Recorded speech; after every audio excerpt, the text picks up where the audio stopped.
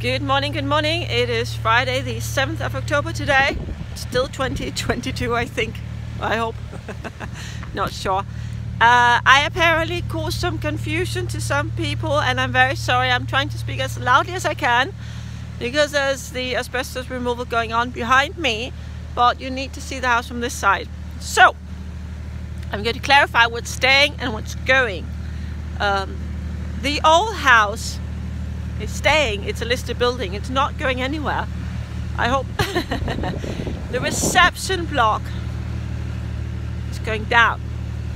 The side there and also the two rooms that were attached to that 228 and 229 from the ones in Northern Hotel very well are going. I'm going to show you from the other side next week. The main hotel wing there all that, that big block is going down.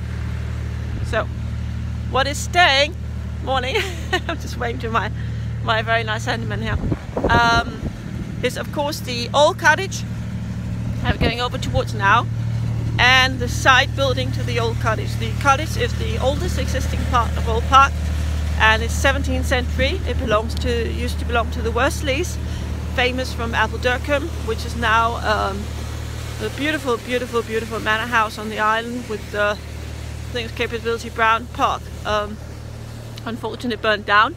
So it's uh, locally known as the biggest DIY project in England.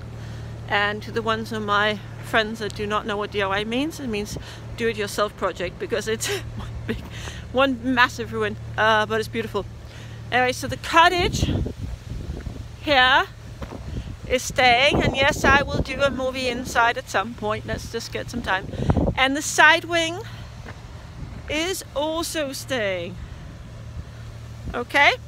The side wing of that so what used to be the soft play and the pool area and where we have a rental apartment on top that is staying. So to recapitulate it is over here. We're working that whole building there going down the big hotel block, the reception, and what is plunk on on the side. And I'll show you from the other side next week. I'm very sorry I caused confusion.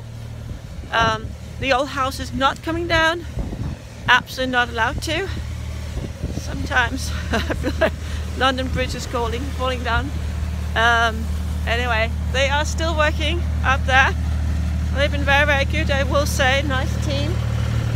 Um, everything goes by plan. They're very good at orientating me what they're doing. I like that because it is my property after all so uh, I'll, I'll, leave them to it the rest of the day but uh, I like to get my little morning meeting with them. Little update. Anyway do take care. Have a great weekend ahead. I will um, enjoy a cup of tea now. I think my throat's getting there.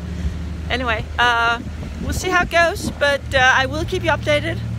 And very very sorry to the ones that got confused, please forgive me uh, if you can have that in your heart. Thank you. Have a lovely weekend ahead. Bye from Marie.